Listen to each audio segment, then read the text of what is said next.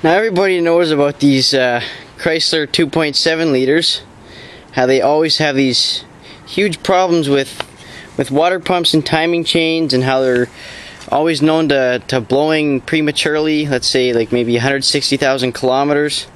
Well, here's another one, as they always do, um, except this one, um, the owner was selling it uh, claiming that it had a cracked engine block.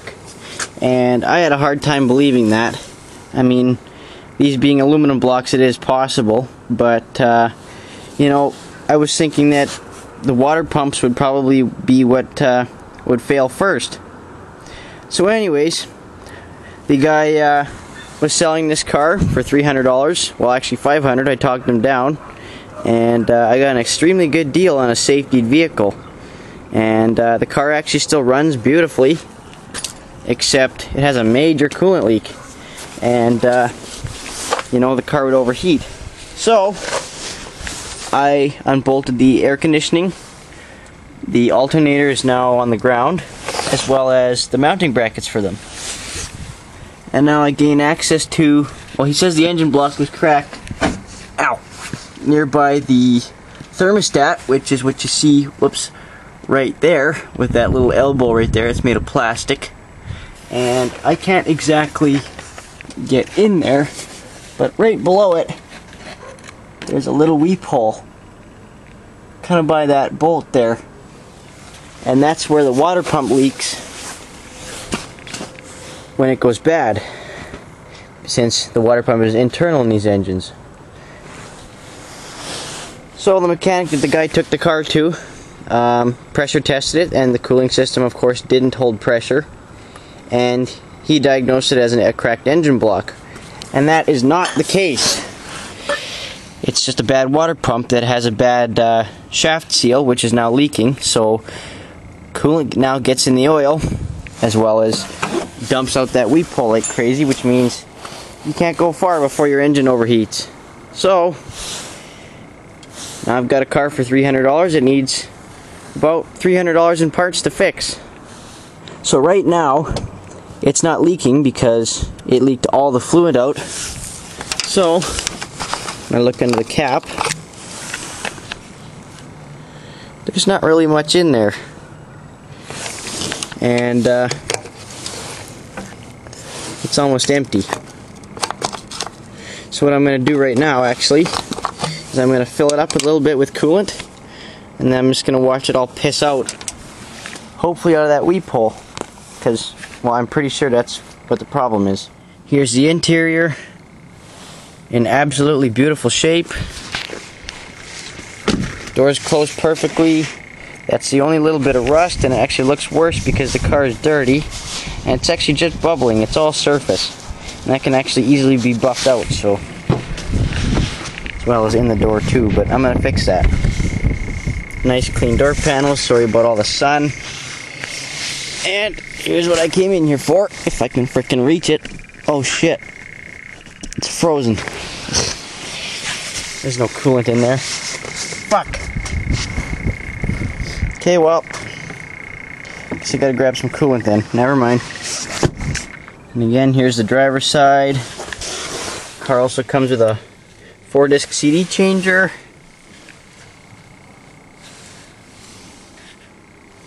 Beautiful car.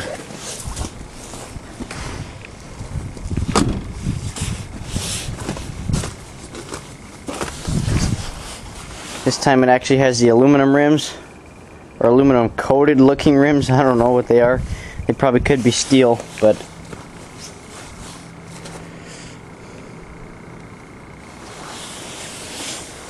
gotta love Chrysler for making garbage engines.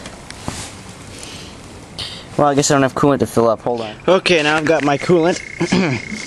it's not actually the right kind. It's actually supposed to be long life stuff, but I'm just gonna fill it up and uh, hope she leaks out a little bit.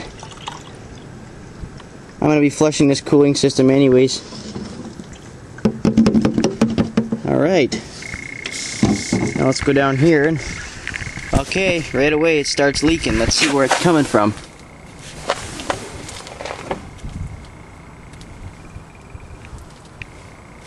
Um, okay, now it's hard to see, but just right behind that bolt, that plastic shield, right up against it there, is the weep hole for the water pump. And if I could get the camera light, could get the light in here. Fuck. There. And that's the weep hole that the water pump is now leaking out of because I just filled it up. And now it's pissing. This car doesn't have any cracked block.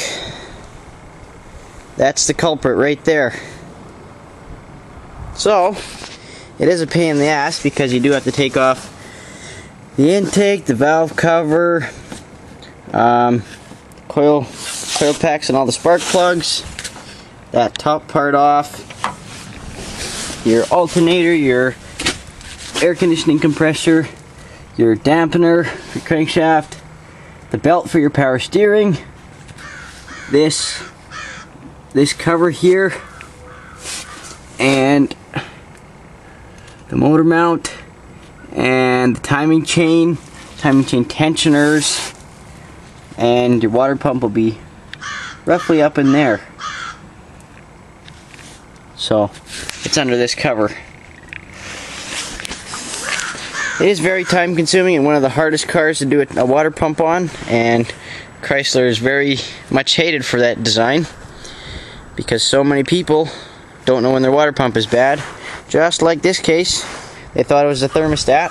Well, the thermostat was just replaced, but they mistaken it for the water pump. Luckily this motor is still good because you see lots of Sebrings and Intrepids that have the same motor but they're knocking. So if I replace this water pump, I'll be good for another 100,000 kilometers. Sweet. Now I gotta wait till I get paid next week, and I'll order myself a new water pump. I'm gonna begin tearing down this motor now.